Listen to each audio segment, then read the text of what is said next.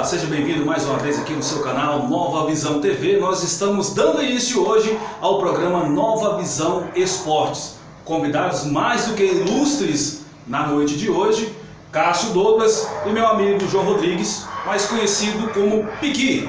Eles têm um projeto de escolinha de futebol ali no conjunto Parque das Estrelas. Além desses assuntos, nós vamos abordar também hoje a apresentação do Iporá Esporte Clube, jogadores que chegam para somar com a equipe do Iporá Esporte Clube se apresentaram na tarde de hoje. Boa noite, meu amigo Cássio, seja bem-vindo pela primeira vez no primeiro programa, é claro, do Nova Visão Esportes. Boa noite, Ney Nelson, boa noite a todos os telespectadores né, do Nova Visão TV. É, prazer imenso estar aqui né, na, na, na, primeira edição de, desse programa, que com certeza, com certeza vai ser um sucesso. Boa noite, meu amigo Piqui. Boa noite, Ney Nelson, boa noite, Cássio, boa noite a, a, todos. Né, e é uma honra estar aqui participando, né, é, como já, já disse, do primeiro programa da Nova Visão TV. É isso aí, Nova Visão Esportes para você a partir de agora, na sua Nova Visão TV, a TV que você vê através da net.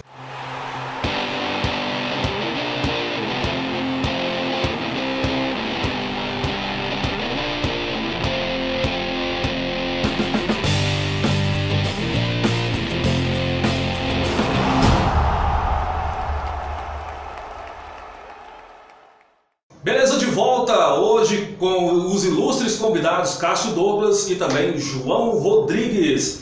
Queria que vocês falassem como foi essa ideia de começar essa escolinha de futebol ali no Parque das Estrelas. Você em parceria com o Piqui. Primeiro você, Cássio. Bom, Ney Nelson, é, na verdade, como moradores daqueles setores, não só do Parque das Estrelas, Rosa dos Ventos, Monte Alto e, e setores né, que fica ali próximo. É, de, desde criança tive esse sonho de ter alguma escolinha de futebol lá, né? É um, um bairro bem mais afastado, um bairro que não tem muitas opções, opções de, de, de lazer. Então é, me veio a ideia, já liguei para o Piqui, o Piqui aceitou de imediato, então foi uma ideia rápida e que está dando certo.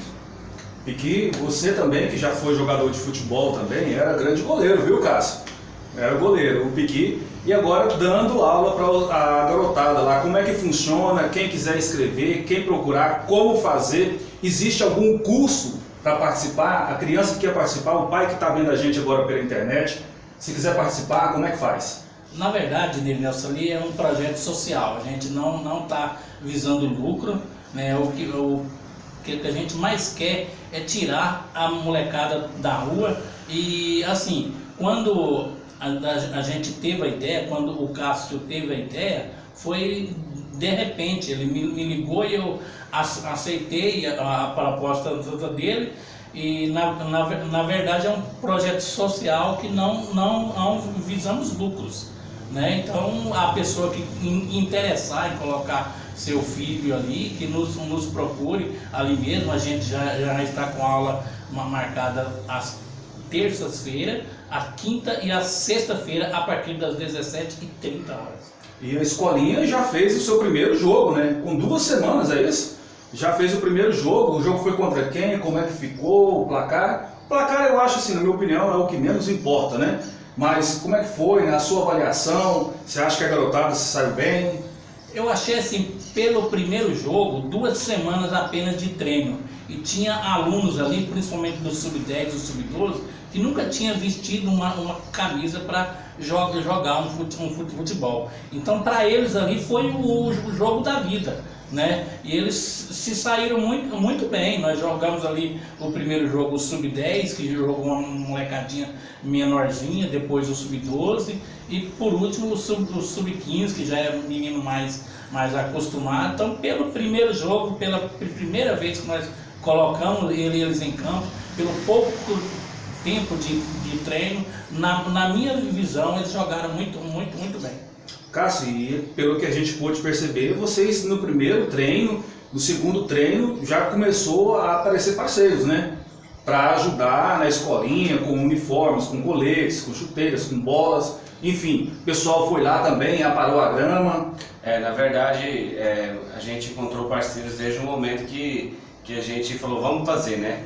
Por exemplo, o espaço que a gente está usando para os treinamentos é um espaço onde o divino da Center Suco, ele cuida daquele espaço, né? Então a gente precisou de uma liberação dele. Então ele liberou de, de, de imediato, né? agradeceu o divino. Aí a gente teve uma ajuda né? da, da prefeitura para a poda né? Da, da, grama, que a grama estava alta.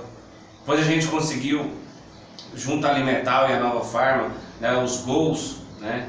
É, os gols Alimental não cobrou mão de obra, né? para ajudar mesmo é, esse projeto social, até porque a Alimental é dos bairros, né? ela está situada no bairro Monte Alto, então é, ele, foi uma força que ele deu para a gente.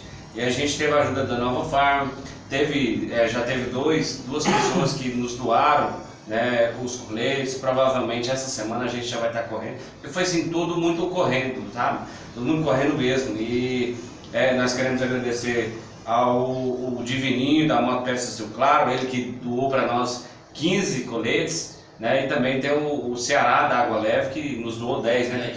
10 coletes. Nossa, muito obrigado. É isso aí. Mais alguma coisa a falar a respeito da escolinha? A gente passa para o próximo bloco falando também do Porá Esporte Clube. Bom, eu só queria é, agradecer, já que a gente falou do amistoso, né? Agradecer a escolinha Águas Claras, do nosso amigo Ricardo Vital, né? Ele que está há dois anos à frente daquele projeto, também é um projeto social, e a gente vê os meninos bem adiantados já no quesito de, de, de, de é, tático, técnico, é, e também na, na educação. É, eu percebi lá que são atletas é, que, que têm uma responsabilidade em defender a escolinha com muita educação.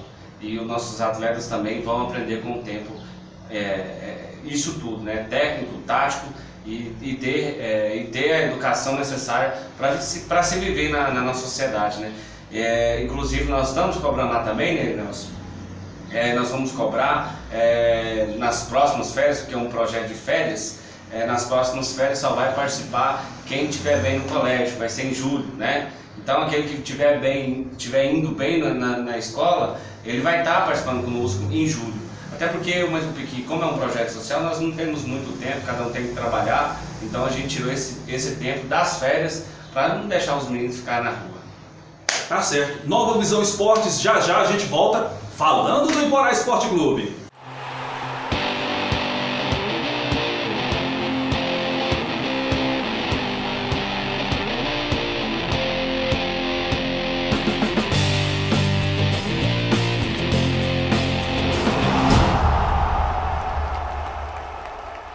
Beleza, de volta com seu Nova Visão Esportes, o seu canal Nova Visão TV. Hoje o primeiro programa Nova Visão Esportes pela sua Nova Visão TV, a TV que você vê através da net.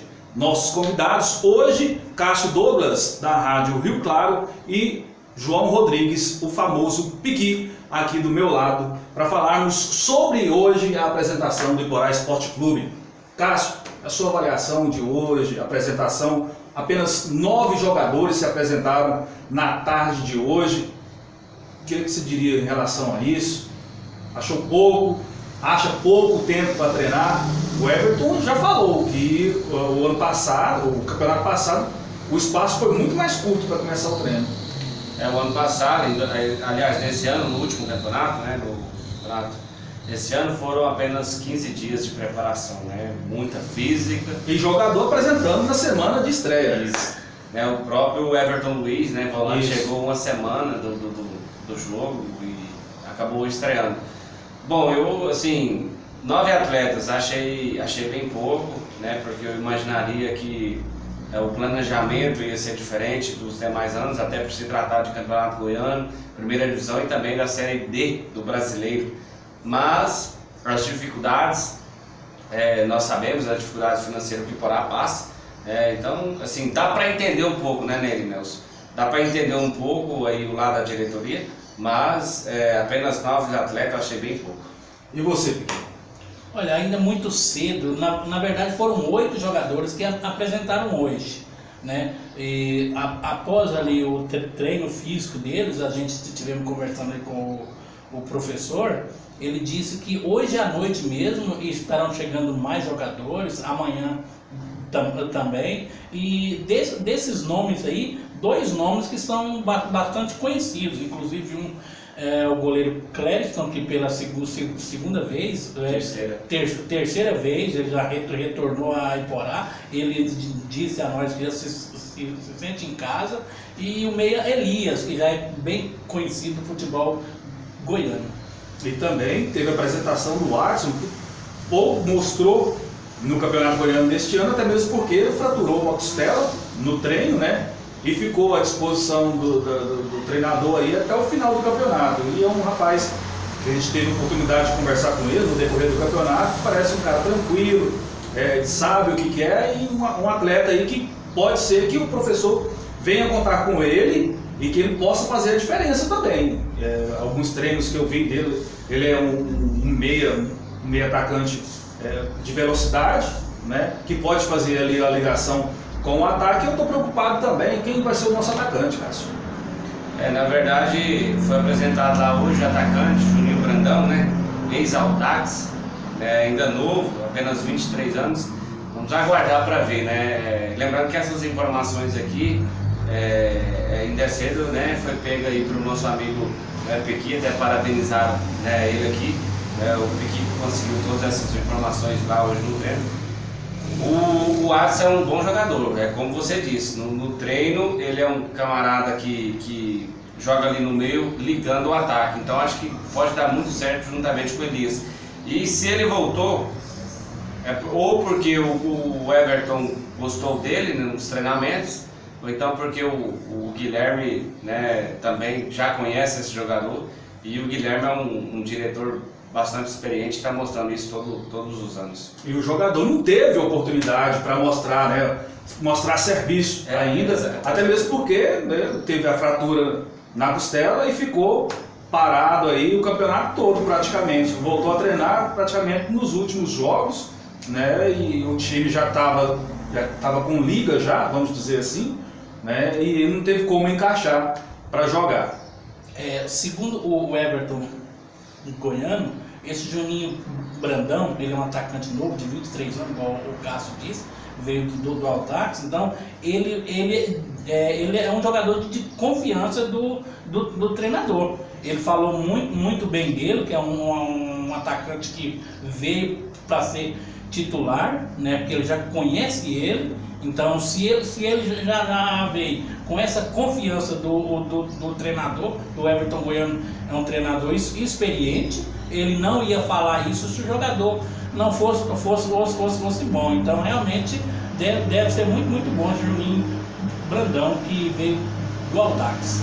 Agora fica aí a expectativa de outros jogadores aparecerem para o Iporá Esporte Clube, porque apenas oito jogadores fica até difícil a gente fazer uma avaliação, até mesmo porque não teve nenhum nenhum treinamento e a gente só está falando daqueles jogadores que a gente conhece, né? A gente já viu é, trabalhando, a gente já viu em movimentação. Aqueles que a gente não conhece ainda, a gente vai aguardar um pouco para ver o desandar, o desenrolar, para ver como que vai a, situar esses jogadores aqui no Iporá Esporte Clube. E Nelson, quando eu disse que foram nove atletas, nove atletas apresentados, é, na contagem, naquele momento onde eu contei, é porque tá, inclusive está incluso lá o Samuel, o Samuel que o ano passado foi terceiro goleiro, né, é, teve uma contusão, está voltando agora, está até um pouquinho é, fora do peso, né? Mas é um atleta que acredito que vai trabalhar aí com, com o elenco até para estar tá ajudando também, né? E é um jogador que é persistente, né? É um jogador que todo mundo, a comissão técnica e também os jogadores e também a diretoria gosta muito porque é um jogador que ajuda a equipe. Né? A verdade é essa. E você? Agora, eu queria aproveitar o espaço quanto a. É, estão soltando nos os grupos de WhatsApp que o Rodriguinho e o Vinícius Leite voltaria para Iporá. Isso Inclusive, tá está descartado. Hoje, né? ele, ele está de férias. A hora que terminou tudo lá, a gente fez uma entrevista com ele, com a nova, a nova onda. Ele, ele disse que o professor dele lá, o Emerson Maria, né? é o, o, técnico do, do Vila Nova, chamam ele em particular, ele e o Rodrigo, e diz que vai ser aproveitado no campeonato goiano. Inclusive, ele disse que ele teve proposta de cinco times, incluindo a Napolina, é, Aparecidense e, se eu não me engano, três times de São Paulo que iria ele. Então, amanhã no, no, no, no programa da Nova Onda vai, vai, vai ser soltada a entrevista dele. Então, para o torcedor de Iporá esquecer que o, o, Vinícius Leite não, não vem esse ano para a equipe do Iporá. Ele, ele está aqui apenas de férias. No, no próximo dia 2, ele tem que apresentar na equipe do Vila Nova. É, esse negócio de rede social é complicado, né? É, inclusive eu queria ter falado sobre esse, sobre esse assunto, porque o Pedro Henrique Geninho, repórter da 730, hoje conversei com ele é, em particular, pelo Facebook, e ele me mostrou a lista. Ele me mostrou a lista dos jogadores que vão ser aproveitados e dos jogadores que é, vão ser emprestados. E o Rodrigo Alves e o Vinícius Leite estão na lista dos que vão ser emprestados. Agora, se o Vila também não fazer o negócio, provavelmente podem ser que sejam aproveitados. Eu estou falando aqui, mas eu, é claro que eu, como, como torcedor, amigo dos meninos, eu queria que eles jogassem pelo Vila Nova. Mas eu acho muito difícil, Ney Nelson. É, de repente, aí uma negociação com o Iporá, né? Já houve uma tentativa aí com o Rodrigo Alves, porém também acho muito difícil. Parece que o Vila, pelo que o Geninho me, falou, me passou, o Geninho tem uma moral muito grande lá no Vila, é repórter da 730. Ele me passou que o, o Vila só vai emprestar os jogadores para aquele clube que pagar todo o salário, entendeu? O Vila não vai arcar. E, e pela, assim, pelo que a gente ficou sabendo aqui em Poral, o Poral ofereceu metade do salário, o Vila pagasse, o Vila pagando metade, o Iporá pagando metade, o Iporá teria interesse mas o Vila Nova já, já, já descartou essa possibilidade. É, infelizmente. Vamos nessa. Agradecer demais a presença de você, Cássio, aqui no primeiro programa Nova Visão Esportes, né? Dizer para você que as portas estão abertas. O dia que você quiser vir participar, a gente fazer um debate sobre ah, o jogo do Iporá, as portas estão abertas já sabe onde que é agora. Eu, eu que agradeço, né, Eu queria aqui nesse momento aproveitar parabenizar você por essa iniciativa. Né? Há muito tempo a gente vem sonhando com isso aqui na nossa cidade, da imprensa estar profissionalizando e apesar de da gente estar em emissoras diferentes, de estar em, em a nossa amizade continua, né? A gente nunca deixou isso nos separar desde, desde quando eu tive aquele projeto do, do, do né, da, da da tabelinha do, do Goianão e eu te passei ela com muito prazer e você sempre honrou aquele projeto que eu tive. Então, parabenizar, desejar é, muitas felicidades nesse projeto, dizer que sempre que, que for convidado estarei aqui com o maior prazer. Desejo sorte e com certeza é um sucesso, meu amigo. Tamo junto. Show de bola. E que abração para você também, agradecer pela presença no primeiro programa Nova Visão Esportes e a gente vai estar junto, né? Isso, se Deus quiser, estaremos juntos. E agora é torcer para que o Iporá monte um, um, elenco bom, porque esse ano não pode colocar um time, porque duas competições é, que irá envolver praticamente o ano, o ano, o ano todo. Então agora tem, tem que ter um, um, um elenco. Então é a gente ficar aí na torcida para que a equipe do Iporá monte um bom elenco para fazer bonito como, como fez no campeonato passado. Tamo junto. Valeu, um abraço. Galera, então é isso. Esse foi o primeiro programa Nova Visão Esportes. A gente volta em uma outra oportunidade na sua, claro, Nova Visão TV, a TV que você vê através da net.